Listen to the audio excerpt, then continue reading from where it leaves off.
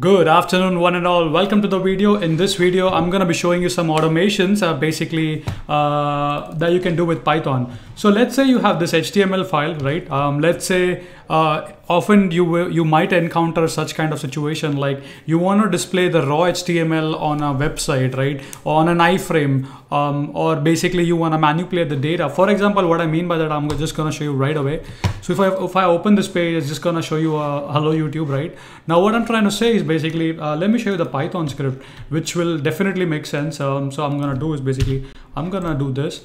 Uh, so assume uh, that I mean when you're working in big companies, there might be often a case that some of them uh, they might be sending HTML data or a header or a footer using basically uh, let's say uh, an REST API, right? So in that situation, what I'm saying is basically so for check this out. So this is basically the HTML code. Uh, here you can see in a list attribute. So how you can, uh, uh, if you want to display this on an iframe, how you can do that. I'm going to show you some um, Python ETL scripts that you can do. Basically a backend um, REST API you can develop to do these kind of jobs. Um, what you can do is basically uh, whenever you're getting some kind of data and you want to display it on an iframe, uh, any HTML data basically. Let's let me talk this way. So let's say you have any kind of an HTML uh, data, a string HTML data, and you want to uh, show that on an iframe, how you can do that. So I'm going to be teaching you in this video how to do that. So first of all, what I did is basically I defined a empty string. I want to convert the entire HTML into a string. So assume that uh, this is how your company is giving you data to your REST API. You're getting a string uh, stuff. And let's say you want to display that on an iframe. So this is basically a string, okay? Uh, I can prove that to you. Um, actually, if I say type and if I say str and if I run that uh, should get an error there. Um, let me run that again. So type string perfect. What I want to do is basically I wrote a simple function. This would be a REST API basically which will take um, the uh, string HTML uh, I'm using Beautiful Soup to make sure the HTML is like perfect because sometimes there is always HTML contents um, when it's coming through an API uh, I mean, usually it won't happen, but if it's not uh, formatted correctly, you can use Beautiful Soup to do that.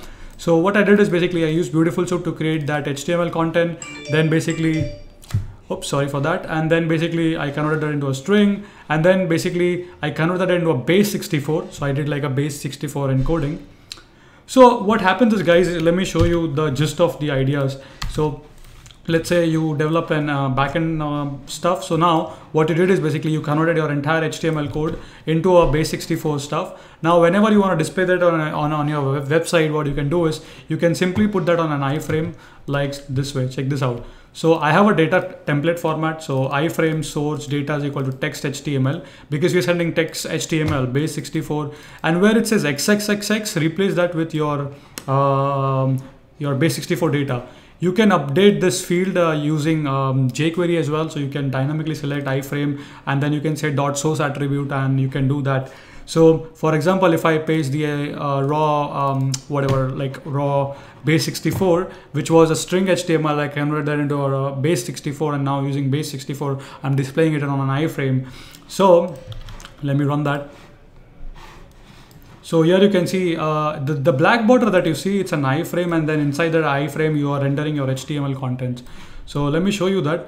So if you see carefully, uh, div class, uh, style padding, hello. So yeah, so this this is entire thing. This entire thing is inside the body. I mean, um, it's it's it's in, inside an iframe.